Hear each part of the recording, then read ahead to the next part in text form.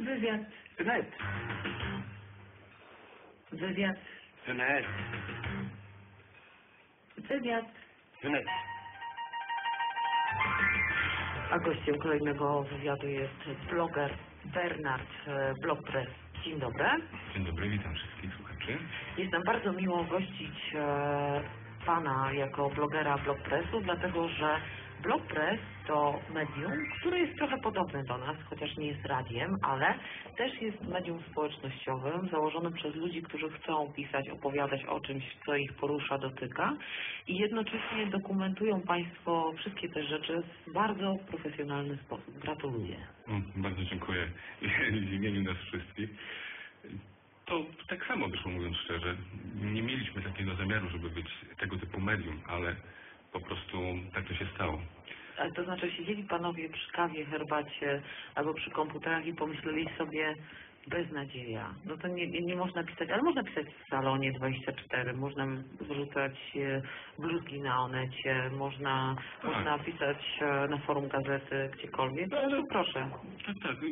To ponad dwa lata temu się zaczęło. Faktycznie siedliśmy sobie i mieliśmy już jakieś doświadczenie z blogowaniem w różnych miejscach. Postanowiliśmy założyć taki mały społecznościowy portal, w którym czulibyśmy się zupełnie wolni. Mhm. Y, Aczkolwiek pisujemy też i na innych forach. W Salonie 24 też się nasze notki e, pojawiają, więc było nas na początku czterech. Rzepka, Jarok, e, C kwadrat i ja. I założyliśmy taki mały, mały portal. Takim wyróżnikiem początkowym to była satyra polityczna, rysunki, e, filmy. Potem dołączyli inni. To, co się zmieniało, niektórzy dołączali, niektórzy, niektórzy się wycofywali. E,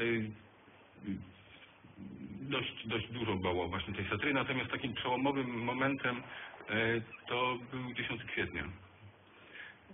Tragedia smoleńska i wtedy chyba wiele osób w całej Polsce jakby poczuło taką potrzebę większej aktywności. I po 10 kwietnia, gdy chodziliśmy e, na krakowskie przedmieście w czasie żałoby, robiliśmy zdjęcia, zaczęliśmy je wrzucać, potem zaczęliśmy robić, e, nagrywać różne rzeczy. Po prostu po to, aby je utrwalić, aby je udostępnić innym. Też nie, nie, nie oszukujmy się, nasze media w Polsce są e, nie są dobre, są tendencyjne i często manipulują, więc tego typu, tego typu relacje, pełna relacja takiego spotkania, którego, o którym nie można się dowiedzieć nigdzie indziej, które można obejrzeć tylko w internecie. To właśnie było to, co nas jakby pchało do przodu. A czym Państwo się zajmują zawodowo? No to różnie. Ale tak różnie, to może przytoczmy kilka, e, kilka, e, kilka przykładów. I jeden kolega jest grafikiem, yy, ja jestem, ja mam wykształcenie techniczne, jestem programistą komputerowym. Mhm. Ktoś tam jest z wykształcenia polonistą, także zupełnie nie, niektórzy są lub byli związani też z dziennikarstwem. Bo ja chciałam powiedzieć, że nam w Radiu Wnet zaimponował tempo i profesjonalizm w re- w relacjonowaniu między innymi naszej imprezy. E, najpierw e, właściwie e, dzięki Państwu obejrzałam relację ze spotkania z dziennikarzem, z którym przed chwilą rozmawiałam, czyli z Wojtkiem, z promocji e, książki z mocy bezprawia, którą prowadził e, Krzysztof Skowroński. To, było, to była e, rzecz, którą widziałam dzięki Państwu. A druga rzecz, którą, którą naprawdę Państwo zdokumentowali dużo lepiej niż my i mi z tego powodu, ale tutaj myślę o połączeniu też sił, o czym będziemy rozmawiać już poza anteną, to, to nasze spotkanie w Galerii Freda. Jak Pan odebrał to jako, bo Pan uczestniczył w tym spotkaniu z naszymi republikanami. Jak Pan odebrał to nasze spotkanie? Była jeszcze koleżanka, także byliśmy we dwoje. Mhm. e, Margot, e, która dołączyła i bardzo wzmocniła nasz zespół. Także ona potrafi bardzo szybko i sprawnie przygotowywać relacje, notki i tak dalej. E, To było bardzo ciekawe spotkanie. My w ogóle mamy na stronie kalendarium Mhm. i gdy pojawiają się jakieś e, imprezy ciekawe, to tam je zamieszczamy i jeżeli w miarę, w miarę naszych możliwości czasowych, no bo to możemy robić po Mhm. pracy w wolnym czasie, chodzimy na te, na te wydarzenia i to jest tak, że jeżeli na przykład chcę zobaczyć mm, premierę książki, czy jakąś prezentację książki powiedzmy Wojciecha Szumlińskiego, no to idę do trafiku, a dodatkowo rozkładam kamerę. I nagrywam. I dokumentuję. Potem trzeba to obrobić, zrobić notkę. To jakby troszeczkę przyszło już, yy, już jakby z czasem trochę wprawy. Yy, A spotkanie bardzo przyjemne, bardzo sympatyczne. Chociaż nie, nie wszyscy mogli zabrać głos. głos. Tutaj mój fantastyczny gość wspomina e, mój brak głosu i pamiętam jak Krzysztof Skowroński powiedział Kasia dzisiaj taka skromna, normalnie to tak nie ma. E, To był, to był dla mnie dramatyczny wieczór. Muszę przyznać, że po prostu brak głosu dla radiowca i osoby, która ma Tak. poprowadzić jest naprawdę chyba najgorszą rzeczą, która się może wydarzyć, ale starałam się jednak wydobyć resztki z krtani. Było to czasami aż tak zabawne, że właściwie to, to co mówiła, było nieistotne. Wszyscy w napięciu, pamiętam, patrzyli na mnie, uda się jej, czy nie uda. No dobrze, ale ja tu widzę, że Państwo jednak e, to nie jest tak, że Państwo dokumentują wszystko, co się dzieje dookoła i wszystko to, co, e, to, co jest, e, to, co, no tutaj nie ma promocji książek e, z pierwszych e, miejsc, na przykład sprzedaży Empiku, nie będę tu wymieniać autorów, żeby nikogo nie obrazić, ale jest jednak e, jakiś rys e, taki ideowy na danym blok prasowy, bo tutaj jeżeli spojrzymy nawet na nazwiska od Krasnodębskiego, po a, tu widzę na zdjęciu po e, Rynkiewicza, e, to, to widać, że panowie, państwo, przepraszam e, szanowną panią, która właśnie dołączyła do zespołu blok prasu i tak fantastycznie dokumentuje, państwo idą jednak e, Tak, tak, tak, bo my mamy swoje poglądy dość sprecyzowane. Są to poglądy prawicowe, czy konserwatywne, czy chrześcijańskie i w tym kierunku y, dokumentujemy to, co chcemy, a nie to, co się dzieje. To, co jest pomijane, czego nie ma. Także jeżeli chodzi o książki, to całkiem sporo mieliśmy y, różnych y, relacji z książek. Właśnie była książka pana Sumińskiego, była książka Sławomira Cęckiewicza, była książka profesora Zybertowicza, była książka Czy jeszcze warto rozmawiać y, i wiele innych y, naszych, y, re- w naszych relacjach różnych pozycji. Dobrze, to w jaki sposób można dołączyć do blog pressu?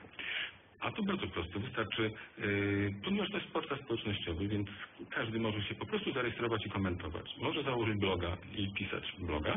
Może też po prostu przysłać maila, że chciałby zamieszczać relacje, czy że chciałby z nami współpracować. A w jaki sposób Państwo się utrzymują? Yy, To jest wyłącznie działalność społeczna. To nie są wielkie koszty, to jest przede wszystkim koszt naszego Serwera. czasu. Mhm, i koszt serwera, aczkolwiek to jest yy, na razie to jest kilkaset złotych. Mhm. Czyli nie jest to jakiś bardzo profesjonalny, rocznie, więc Mhm. nie jest to jakiś bardzo profesjonalny serwer. To znaczy, że jeżeli yy, w danym momencie yy, nagle Wejdzie 3 Tak. miliony osób, to to może być nie wytrzyma. I tak już się zdarzało. Natomiast no coś za coś.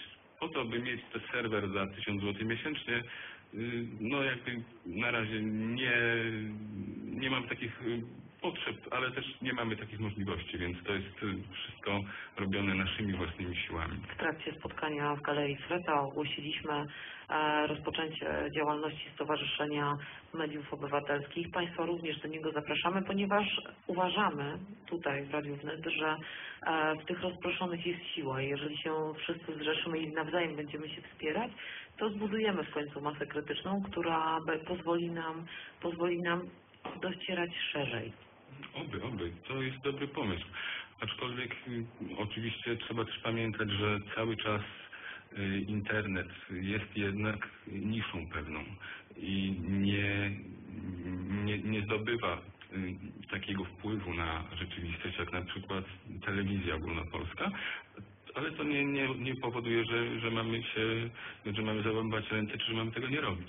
Czasy internetu jeszcze przed nami. Myślę, że ten skok e, technologii nastąpi szybciej niż nam się nawet tutaj e, ludziom pracującym w internecie, panu i mi wydaje. Natomiast jeżeli chodzi o naszych republikanów, e, chciałam tylko przeczytać jednego maila. E, Pijany kierowca pozbawiony, rozmawiałam z europosłem, że mamy za niskie kary w Polsce za, za, e, za wykroczenia i tutaj e, nasz republikanin Michał pisze, pijany kierowca pozbawiony jest prawka na 10 lat i dwa lata kicia mało. Wojciech Cejrowski w Teksasie można. Mówił o tym u Was. Pozdrawiam, muzyka dziś ładna, inaczej. I tak dalej. Tutaj e, cały czas, e, cały czas w trakcie poranka widać, jak społeczność jest z nami. Oczywiście e, internet nie jest aż takim dużym medium, ale jest jedynym wolnym, który pozwala na to, żebyśmy Państwo i my mogli razem tutaj komentować i opowiadać o rzeczywistości, która nas interesuje i mam nadzieję, że naszych słuchaczy i oglądaczy również. Dokładnie tak jest. Zresztą my prowadziliśmy bardzo dużo różnych relacji. Wszystkie relacje z namiotu, wszystkie relacje no, z, z Stowarzyszenia Polska jest najważniejsza, wykłady historyczne, z klubu Ronina, z, z Fundacji Republikańskiej i z procesu Rymkiewicza. Wiele, wiele z konwencji wyborczych, y, z różnych manifestacji, pokazów filmów. I zdarza się, i to jest naprawdę bardzo, bardzo takie budujące, gdy ktoś podchodzi i mówi słucham was, czy, czy, czy oglądam was, dziękuję, bo, bo tam mogę coś znaleźć. Aczkolwiek to trzeba przyznać, że to jest dla tych, którzy chcą znaleźć. To, to nie dociera do ogółu. Dobrze, to będziemy zastanawiać się nad tym, jak docierać do ogółu e, już za chwilę. E, musimy kończyć, bo czas e, mój goni. Następny gość Karolina Marchlewska, nie Karolinka, czeka w pokoju 261, żeby opowiedzieć o dzisiaj swojej fantastycznej audycji w Radio Wnet. Ja chciałabym podziękować blogerowi Bernardowi za wizytę w studiu www.blogpress.pl. Tak, dziękuję bardzo i zapraszam wszystkich na blog.